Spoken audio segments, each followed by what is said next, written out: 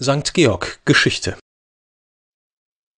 Eine erste romanische Kirche wurde um 1225 erbaut.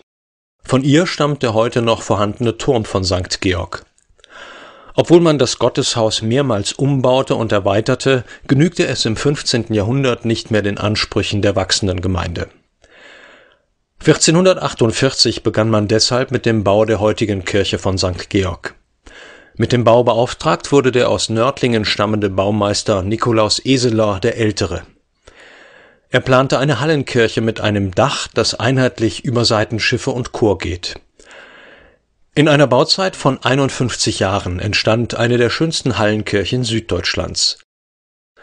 1499 wurden die Arbeiten an der Kirche vorläufig beendet Ursprünglich hatte Eseler bzw. sein Sohn und Nachfolger auf der Nordseite einen Glockenturm geplant, der in seinen Dimensionen zur Gesamtanlage gepasst hätte.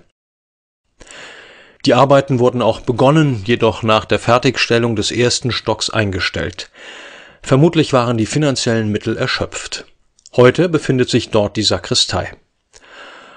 Als Notlösung behielt man den romanischen Kirchturm bei Allerdings mussten sich die Architekten etwas einfallen lassen, denn der Turm stand seitlich versetzt zum Westgiebel.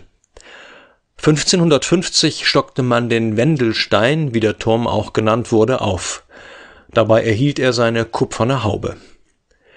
Bis heute überragt der Turm den First der Kirche nur um wenige Meter. Inzwischen haben sich die Bürger von Dinkelsbühl an die Proportionen gewöhnt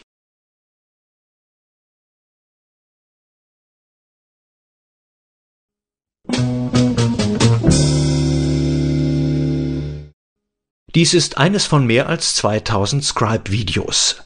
Scribe-Videos gibt es zu über 100 Städten in Deutschland, von A wie Aachen bis W wie Würzburg. Mit der Scribe-App haben Sie Zugriff auf alle 2000 Videos und können bei Ihrem individuellen Stadtbummel mobil durch die Videos einer Stadt navigieren.